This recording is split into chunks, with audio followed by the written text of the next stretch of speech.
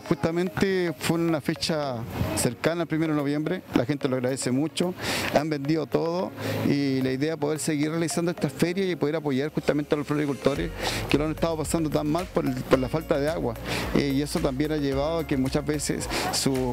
flores se secan y tienen que dárselos a, sus animales.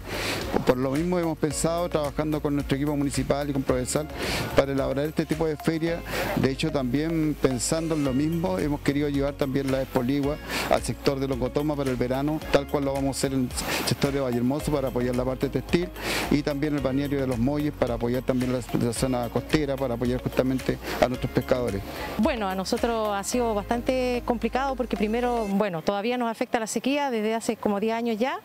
y aparte de eso se nos sumó el estallido social que fue el año pasado eh, justo en la fecha PIC para nosotros, no pudimos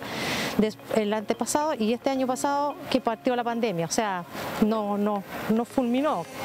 Pero gracias a Dios ahora hemos podido trabajar y bueno, esta iniciativa a nosotros nos, ha servido muchísimo porque podemos exponer nuestras flores y venderlas directamente sin un intermediario que muchas veces es el que se lleva, gana veces más, mucho más que el productor.